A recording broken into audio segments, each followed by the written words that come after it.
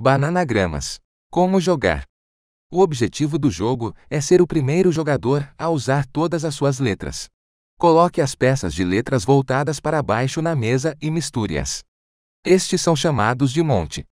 Cada jogador pega suas peças iniciais viradas para baixo do grupo com base no número de jogadores jogando.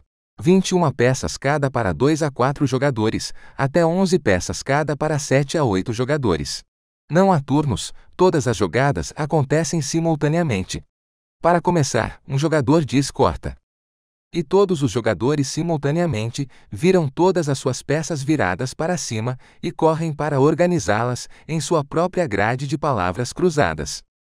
As palavras devem ser lidas da esquerda para a direita ou de cima para baixo, e cada palavra deve se conectar a pelo menos uma outra palavra com pelo menos uma letra compartilhada.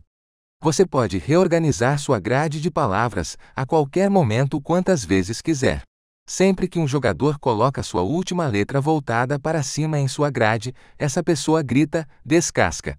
E todos os jogadores, incluindo esse jogador, pegam mais uma peça do monte.